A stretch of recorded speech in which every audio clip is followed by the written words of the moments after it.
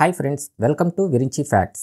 ఇప్పటి వరకు ఈ సముద్రపు లోతు మొత్తం ఎంత ఉందో ఎవ్వరూ కనిపెట్టలేకపోయారు. మనకున్న టెక్నాలజీతో ఇంతవరకు కనిపెట్టింది ముప్పై ఆరు వేల అడుగులు. ఇంకా కనిపెట్టవలసింది కూడా ఎంతో ఉంది. అలానే మన భూమి సెవెంటీ వన్ పర్సెంట్తో ఈ వాటర్ని కలిగి ఉంది. అంటే ఈ భూమి మీద మనం ట్వంటీ నైన్ పర్సెంట్తో మాత్రమే బ్రతుకుతున్నాం. ఇంతవరకు మన సైంటిస్టులు మనకున్న అడ్వాన్స్డ్ టెక్నాలజీతో ఎన్నో రకాల వాటిని కనిపెట్టారు. కానీ ఈ ఒక్క సముద్రాన్ని మాత్రం కేవలం ఫైవ్ పర్సెంట్ మాత్రమే కనిపెట్టారు. ఈ కనిపెట్టిన ఫైవ్ పర్సెంట్లోనే మనకి ఈ సముద్రాల్లో అనేక వింతైన జీవులు బ్రతుకుతున్నాయని కూడా బయటపడ్డాయి. అయితే ఇప్పుడు అందరికీ ఉన్న డౌట్ ఏంటంటే ఈ సముద్రాల్లో మిగతా నైంటీ ఫైవ్ పర్సెంట్లో ఇంకెంత భయంకరమైన జీవులు బ్రతుకుతున్నాయని అనేక సందేహాలు ఉన్నాయి. వాటిలో ఉన్న మెయిన్ డౌట్ వచ్చి ఈ జలకన్యలు.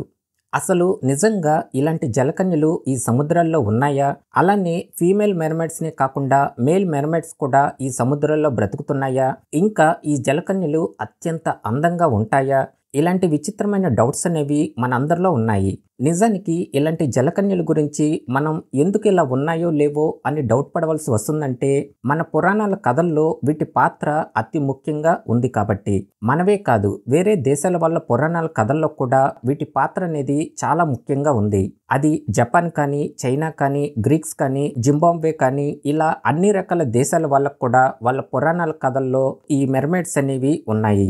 ఇంకా కొన్ని వాటిలో అయితే మేల్ మెర్మేడ్స్ కూడా ఉన్నాయని ఈ ఇమేజెస్ని చూస్తుంటే చూస్తుంటేనే మనకి అర్థమవుతుంది. అలానే మన హిందూ పురాణాల్లో కూడా మహావిష్ణువు స్వామివారు ఒక రాక్షసుని చంపటానికి ఈ అవతారాన్ని ఎత్తుతారు. ఇంకా రామాయణంలో కూడా లంకను చేరుకోవటానికి ఆంజనేయ స్వామివారు కట్టే వంతెన్ని నాశనం చేస్తుంది కూడా ఈ జలకన్యలే అని హనుమంతుడు తెలుసుకుంటాడు. ఇలా మన పురాణాల్లోనే కాదు వేరువేరు దేశాల వాళ్ళకి ఈ జలకన్యల కథలు వేరువేరుగా ఉన్నాయి. కానీ మొత్తానికి అన్ని దేశాల వాళ్ళకి ఈ జలకన్యల మీద కథలు ఉన్నాయి కాబట్టి అందరికీ ఈ మెరమెడ్స్ అనేవి నిజంగానే ఈ సముద్రపు అడుగు భాగాన బ్రతికే ఉంటాయని నమ్ముతున్నారు. కొంతమంది అయితే నిజంగానే అవి ఉంటే ఈ పాటికి ఎక్కడో ఒక చోట మనకి కనపడాలి కదా అని కూడా చెప్తున్నారు. నిజానికి ఇప్పటి వరకు మనకు చాలా జలకన్యలు ఉన్నట్లుగా ఈ ఇంటర్నెట్లో అనేక సమాచారం కూడా ఉంది. కాకపోతే వాటిని చూసి వీటిని నమ్మాలా వద్దా అనే డౌట్స్ కూడా చాలా మందికి ఉన్నాయి. ఎందుకంటే మనం ఫుల్ అడ్వాన్స్డ్ టెక్నాలజీలో బ్రతుకుతున్నాం కాబట్టి. ఇప్పుడున్న మన టెక్నాలజీ గ్రాఫిక్స్ని చూస్తే అది జరిగింది నిజమే అన్నట్లుగా మనం క్రియేట్ చేయగలుగుతున్నాం. అంతేకాదు అలా ఆల్రెడీ క్రియేట్ చేసిన మెర్మేడ్స్ని ఇప్పటికీ మనలో చాలామంది నిజంగానే అవి జలకన్యలు అని నమ్మేస్తున్నారు కూడా. ఇప్పుడు మీరు చూస్తుంది కూడా అలా క్రియేట్ చేసిన ఫేక్ మెర్మైడే అయితే ఈ మెర్మైడ్స్లో కూడా ఇరవై నాలుగు రకాల జాతులు ఉన్నాయని చెప్తున్నారు. ఎన్ని రకాలు ఉన్నా కూడా మన లెక్కలో మాత్రం రెండే ఉంటాయి. అవి ఒకటి మంచివి రెండు చెడ్డవి. మనలో చాలామందికి అసలు జలకన్య అంటే అవి అత్యంత అందంగా ఉంటాయని వాటిని ఒక్కసారైనా రియల్గా చూడాలని నిజంగానే అవి అంత అందంగా ఉంటాయా అని అందరూ అనుకుంటారు. ఇంకా ఇలాంటి జలకన్యలు చాలా మంచివని ఈ సముద్రంలో వేటకి వచ్చిన వాళ్ళు ఎప్పుడైనా ప్రమాదాలు జరిగి వాళ్ళ ఓడలు ఈ సముద్రంలో మునిగిపోతే అవి వెంటనే రక్షిస్తాయని నమ్ముతుంటారు. అయితే ఇక్కడ మనకొస్తున్న ఇంకో డౌట్ ఏంటంటే కొన్ని మెర్మైడ్స్ రూపాలు ఇంత భయంకరంగా ఉండటం. ఇదే మనకొస్తున్న అసలు డౌట్. అసలు ఇవి నిజంగానే అందంగా ఉంటాయా? లేకపోతే వాటి అసలు రూపం ఇదేనా? అనే సందేహాలు అందరికీ ఉన్నాయి. అయితే వీటిలో మనం అనుకున్నట్లుగానే రెండు రకాలు ఉన్నాయి. అవి ఒకటి అందంగా ఉంటే రెండోవి క్రూరంగా కనిపించేవి. ఈ క్రూరంగా కనిపించే మెర్మైడ్స్ని సైరన్ మెర్మైడ్స్ అని అంటారు. అది మనం కాదు గ్రీక్స్ వాళ్ళు. ఎందుకంటే వాళ్ళకున్న పురాణాల కథల ప్రకారం అప్పటి వాళ్ళు ఈ సముద్రాల్లో వేటకు వెళ్తే ఈ మెర్మైడ్స్ పాటలు పాడుతూ వాళ్ళని వీళ్ళ దగ్గరికి వచ్చేలా చేసి తర్వాత అందరినీ అత్యంత దారుణంగా చంపి తినేసేవని ఈ గ్రీక్స్ పురాణాల కథల్లో ఉంది. ఇంకా అవి ఇలా మనుషుల్ని చంపి వాళ్ళ పుర్రెలతో ఈ సముద్రాల్లో కోటలుగా నిర్మించుకుంటాయి అని కూడా నమ్ముతుంటారు. ఈ సైరన్ మెర్మైడ్స్ అనేవి ఇంత క్రూరంగా ఉంటాయి. ఇంకా వీటికి అత్యంత సూపర్ పవర్స్ కూడా ఉంటాయని వీళ్ళు నమ్ముతుంటారు. ఈ జలకన్యల కాన్సెప్టే అందరికీ ఇలా మిస్టరీగా ఉండటంతో అందుకే వీటి మీద అన్ని దేశాల్లో కూడా వాళ్ళ స్టైల్లో మూవీస్ కూడా తీసేశారు. ఇప్పటి వరకు మనం అసలు ఈ జలకన్యలు ఎలా ఉంటాయి ఎంత క్రూరంగా ఉంటాయి అని తెలుసుకున్నాం. ఇప్పుడు మనం ఈ సోషల్ మీడియాలో వైరల్ అవుతున్న ఈ జలకన్యల వీడియోస్ని అవి నిజంగా నిజమైనవా లేక ఫేకా? ఒకవేళ ఫేక్ అయితే వాటిని ఇలా మ్యూజియంలో ఎందుకు పెడతారు? అలానే నిజంగా జలకన్య వీడియోని తీశాను అని ఒక అతను బల్లగుద్ది మరీ చెప్తున్నాడు. మరి అది నిజమైన జలకన్యనా? ఇంకా రీసెంట్గా జపాన్లో బయటపడ్డ ఒక జలకన్య గురించి. ఇలాంటి వైరల్ వీడియోస్ అన్నింటినీ ఇప్పుడు మనం బ్రేక్ చేద్దాం. ముందుగా డెన్మార్క్లో ఉన్న డానిష్ నేషనల్ మ్యూజియంలో ఉన్న ఈ మెర్మేడ్ గురించి తెలుసుకుందాం. ఈ మెర్మేడ్ అవశేషం అసలు వీళ్ళకి ఎలా దొరికిందంటే ఇది ఒక రైతు పొలంలో దొరికిందని వీళ్ళు ఈ మ్యూజియంలో తెచ్చి పెట్టడం అనేది చేశారు. తర్వాత దీన్ని రెండు వేల పదిలో చైనాలో జరిగిన షాంఘై వరల్డ్ ఎక్స్పోకి పంపించారు.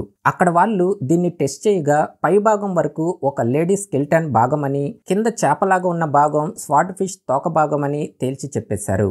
ఈ రెండింటిని సెట్ చేసి ఇలా మెర్మేడ్లో క్రియేట్ చేశారని చెప్పారు. మామూలుగా మనకి ఇలాంటి మెర్మేడ్ అవశేషం ఇలా మ్యూజియంలో ఉంటే ఇక అది నిజమే అని అనుకుంటాం. మరి ఈ మ్యూజియం వాళ్ళు అది ఫేక్ అని తెలిసినా కూడా వాళ్ళు ఈ మ్యూజియంలో ఎందుకు పెట్టారంటే జస్ట్ టూరిస్ట్ అట్రాక్షన్ కోసం. అండ్ సెకండ్ వన్ వచ్చి ఇప్పుడు మీకు కొన్ని క్లిప్పులు చూపిస్తాను. అవి అసలు ఎంత ఎక్సైట్మెంట్గా ఉంటాయో ఇప్పుడు చూడండి. మొదటగా ఈ క్లిప్లో కొంతమంది స్టూడెంట్స్కి ఒక రాయి మీద ఏదో తెలియని ఒక జీవిలా కనిపించింది. మొదటి వీళ్ళు దీన్ని ఏదో సీలేమో అని అనుకున్నారు. కానీ చాలా క్లియర్గా వాళ్ళకి అది ఒక మెర్మైడ్ లాగా కనిపించింది. సెకండ్ వన్ వచ్చి ఒక సముద్రపు ఒడ్డున ఏదో జీవి పడిందని ఒక అబ్బాయి దాని దగ్గరికి వెళ్ళగానే అది చాలా భయంకరంగా మెరమైడ్ రూపంలో కనిపించి ఆ మనిషిపై దాడి చేసేసింది. థర్డ్ వన్ వచ్చి కొంతమంది ఫిషర్ మ్యాన్స్ చేపల కోసం వలను వేసి లాగుతుండగా అందులో ఏదో వింతైన జీవి చాలా బలంగా ఇదిలించుకోవటం కనిపించింది.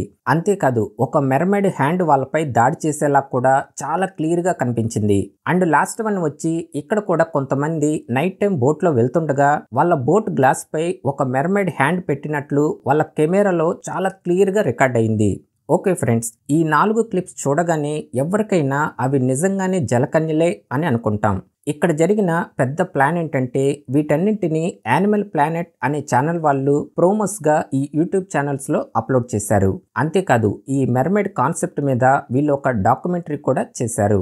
అయితే ఈ మొత్తం ఫేక్ అని ఏబీసీ న్యూస్ అనే ఛానల్ వాళ్ళు రివీల్ కూడా చేసేశారు. ట్విస్ట్ ఏంటంటే ఈ యానిమల్ ప్లానెట్ వాళ్ళు కూడా వాళ్ళ తప్పేమి లేకుండా లాస్ట్లో డిస్క్లైమర్ కూడా ఇచ్చారు. ఇదంతా ఫిక్షనల్ అని. అయితే ఇదంతా ఈ యానిమల్ ప్లానెట్ వాళ్ళు ఎందుకు చేశారంటే జస్ట్ టీఆర్పీ కోసం. వీళ్ళు వదిలిన ప్రోమోస్ అనేవి అప్పట్లో భయంకరంగా వైరల్ అయ్యి వీళ్ళు తీసిన ఫిక్షనల్ డాక్యుమెంటరీ కూడా బ్లాక్ బస్టర్ అయ్యింది. ఈ టీఆర్పీ కోసమే వీళ్ళు ఇదంతా చేశారు. కానీ ఈ క్లిప్స్ని ఎవరైనా ఇప్పుడు చూసినా కూడా అవి నిజంగానే జలకన్యలే అని నమ్మేస్తారు. కానీ ఫ్రెండ్స్ ఇదంతా ఫేక్. అండ్ నెక్స్ట్ వన్ వచ్చి జింబాంబేలో జరిగిన ఒక ఇన్సిడెంట్.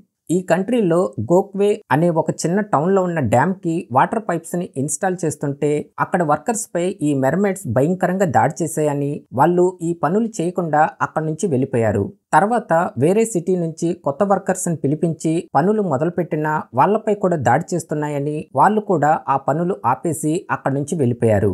అయితే ఈ జింబాంబే దేశపు పురాణాల కథల్లో ఈ జలకన్యల గురించి చాలా కథలుగా చెప్పుకుంటారు. అంతేకాదు అక్కడ ప్రజలు కూడా ఈ జలకన్యలు ఉన్నాయని బాగా నమ్ముతుంటారు. మొత్తం మీద ఈ డ్యామ్ దగ్గర జలకన్యలు తిరుగుతున్నాయని ఇక్కడ ప్రజలు నమ్మేశారు కూడా. మరి వీళ్ళు ఇక్కడ జలకన్యలు ఉన్నాయని చెప్తుంటే వాటిని రీసెర్చ్ చేయడానికి ఎవ్వరూ పట్టించుకోలేదు. ఇంకా మనం ప్రస్తుతం ఉన్న అడ్వాన్స్డ్ టెక్నాలజీ కెమెరాస్తో అవి నిజంగానే అక్కడ ఉంటే వాటిని పట్టుకోవటం కూడా చాలా ఈజీ. మరి ఈ విషయాన్ని ఎవరూ పట్టించుకోకపోవడంతో వీళ్ళు కావాలనే ఈ న్యూస్ని వైరల్ అయ్యేలా చేస్తున్నారా అని అనుమానాలు కూడా వచ్చాయి. నెక్స్ట్ వన్ వచ్చి ఇక్కడ కనిపిస్తున్న మెరమెడ్స్ ఫుటేజ్ని కాలిఫోర్నియాలో ఉన్న డానా పాయింట్ అనే సిటీలో డ్రోన్స్తో రికార్డ్ చేశారు. ఇక్కడ మనకి కొన్ని వేల సంఖ్యలో మెర్మెట్స్ అనేవి వెళ్తున్నట్లుగా మనకి కనిపిస్తున్నాయి. అంతేకాదు ఇవి నిజమైన జలకన్యలే అని చాలామంది ఈ వీడియోని షేర్ చేసి వైరల్ కూడా చేసేశారు. కానీ ఫ్రెండ్స్ అవి నిజంగా జలకన్యలు కాదు. అవి డాల్ఫిన్స్. అసలు ఈ ఫుటేజ్ని డ్రోన్స్తో రికార్డ్ చేసింది డాల్ఫిన్ సఫారీ డాట్ కామ్ అనే వాళ్ళు. ఇక్కడ మీకు చూపిస్తున్నది వాళ్ళ ఒరిజినల్ వీడియో. వీళ్ళు వాళ్ళ వీడియో డిస్క్రిప్షన్లో చాలా క్లియర్గా థౌజండ్స్ ఆఫ్ కామన్ డాల్ఫిన్స్ అని మెన్షన్ చేశారు. వీళ్ళ వీడియోస్ని వేరే వాళ్ళు ఎడిట్ చేసి అవి నిజంగానే జలకన్యలు అని వాళ్ళ ఛానల్స్లో అప్లోడ్ చేయటం వల్ల ఇవి నిజమైన జలకన్యలే అని అందరూ అనుకున్నారు. కానీ ఫ్రెండ్స్ ఇదంతా ఫేక్ నెక్స్ట్ వన్ వచ్చి ఆస్ట్రేలియాకు చెందిన ఒక స్కూబా డైవింగ్ చేసే అతను తను నిజంగానే జలకన్యను చూశానని ఇంకా తన కెమెరాతో రికార్డ్ చేశానని ఇది ఏమాత్రం ఫేక్ కదని చాలా స్ట్రాంగ్గా మీరు నమ్మితే నమ్మండి లేకుంటే లేదు అన్నట్లుగా బల్లగుద్ది మరీ చెప్తున్నాడు. విచిత్రం ఏంటంటే ఇతను ఇంత స్ట్రాంగ్గా చెప్పినా కూడా ఇతను తీసిన ఫుటేజ్ గురించి ఎవ్వరూ పట్టించుకోలేదు. ఇతను కావాలని వైరల్ అవ్వాలని ఇలా స్ప్రెడ్ చేస్తున్నాడా అనే డౌట్సే అందరికీ వచ్చాయి. ఫ్రెండ్స్ మరి ఇతను తీసిన ఫుటేజ్ని చూసి అది నిజంగానే జలకన్యనా కాదా మీరే కామెంట్ చేసి చెప్పండి. ఈ మెర్మేడ్ ఈ మధ్యకాలంలో కొంచెం బాగా వైరల్ అయింది. ఈ మెర్మేడ్ని జపాన్కి చెందిన ఒక ఫిషర్ మ్యాన్ ఇది నిజమైన జలకన్య అని బోస్టన్కి చెందిన ఒక సీ కెప్టెన్కి అమ్మాడు. తర్వాత ఆ కెప్టెన్ ఆ మెర్మేడ్ని తన ఇంటికి తెచ్చాక తను కొన్ని అనారోగ్యాల కారణాల వల్ల చనిపోయాడు. అప్పుడు ఈ మెర్మేడ్ ఈ కెప్టెన్కి చెందిన కొడుకు దగ్గరికి చేరింది. తను ఈ మెర్మేడ్ని ఎలాగైనా అమ్మాలని వాళ్ళ ఫ్రెండ్స్ సహాయంతో బోస్టన్ మ్యూజియంలో అప్పు చేసి మరీ అక్కడ డిస్ప్లేగా పెట్టాడు. అప్పుడు ఈ మెర్మేడ్ని చూసిన వాళ్ళు ఇది నిజమైందా కాదని టెస్ట్ చేయగా ఆ జపాన్ ఫిషర్మ్యాన్ వీళ్ళకి పెద్ద టోపీనే పెట్టాడని అర్థమైపోయింది. ఎందుకంటే ఆ జపాన్ ఫిషర్మ్యాన్ దీన్ని చాలా తెలివిగా ఎవరికి డౌట్ రాకుండా ఉండేలా తలభాగాన్ని మంకీ స్కెల్టాన్ని పెట్టి ఇంకా బాడీ కూడా మంకీస్ వే తీసుకొని తోక భాగానికి కొన్ని రకాల చేపల పార్ట్స్ని తీసుకొని ఎలాగైతే చివరికి ఇలా సెట్ చేశాడు? ఇంకేముంది? ఇది ఇంత దారుణంగా ఫేక్ అని తేలటంతో ఇక దీన్ని ఎవరు కొనరని హార్వర్డ్ యూనివర్సిటీలో పెట్టడం అనేది చేశారు. అండ్ ఫైనల్గా జపాన్లో రీసెంట్గా బయటపడ్డ ఒక మెర్మేడ్. ఇది నిజానికి పదిహేడు వందల ముప్పై ఆరు నుంచి పదిహేడు వందల నలభై ఒకటి మధ్యలో జపాన్లో ఉన్న షికోకు అనే ఐలాండ్లో ఒక జాలరీకి దొరికింది. అప్పుడు దొరికిన దీన్ని జపాన్లో ఉన్న అసకూచి అనే సిటీలో ఉన్న టెంపుల్లో భద్రపరచడం అనేది చేశారు. తర్వాత దీని గురించి తెలిసి ఇది నిజంగానే జలకన్య కాదా అని కురాషికి యూనివర్సిటీ ఆఫ్ సైన్స్ రీసెర్చర్స్కి ఇచ్చారు. దాన్ని వీళ్ళు సిటీ స్కాన్ చేసి ఇది ఒక మూడు వందల సంవత్సరాల క్రితం నాటి మమ్మీ అని తేల్చి చెప్పేశారు. కానీ వీళ్ళు కూడా ఇది జలకన్య కాదా? లేక ఈ జపాన్ వాళ్ళకి ఈ మెర్మెడ్స్ మీద బాగా నమ్మకం ఉండటంతో అప్పట్లో ఎవరైనా ఇలా తయారు చేసి ఉంటారు అని చెప్తున్నారు. అది కూడా డౌట్ఫుల్గానే ఈ మెర్మెడ్ గురించి ఇంకా రీసెర్చ్ చేయాల్సింది చాలా ఉంది. అప్పుడే ఇది నిజమైందా కాదా అని బయటపడుతుంది. మొత్తానికి ఈ జలకన్యలు ఉన్నాయని ఇప్పటి వరకు ఎవ్వరూ కనిపెట్టలేదు. ఈ సముద్రాల గురించి మనం ఇంకా నైంటీ ఫైవ్ పర్సెంట్ తెలుసుకోవాల్సింది ఉంది. తెలుసుకుంది కేవలం ఫైవ్ పర్సెంట్ మాత్రమే. ఈ హోపే అన్ని దేశాల వారిని ఇంకా ఈ జలకన్యలు ఈ సముద్రాల్లో బ్రతుకుతున్నాయని నమ్మేలా చేస్తుంది. ఉండవు అనే నమ్మకం కన్నా ఉంటాయి అనే నమ్మకమే చాలా మందికి ఉంది. మరి మీకు నిజంగానే ఈ సముద్రాల్లో జలకన్యలు ఉన్నాయో లేవో మీకున్న ఎస్ఆర్ నో అనే డౌట్ని కామెంట్ సెక్షన్లో కామెంట్ చేయండి. అలానే ఈ వీడియో కనుక మీకు నచ్చితే ఖచ్చితంగా ఒక లైక్ చేయండి. ఇంకా మన ఛానల్ని సబ్స్క్రైబ్ చేసుకోకపోతే ఇప్పుడే వెంటనే సబ్స్క్రైబ్ చేసుకోండి. ఇంకో ఇంట్రెస్టింగ్ వీడియోతో నెక్స్ట్ వీడియోలో మళ్ళీ కలుద్దాం. Thanks for watching.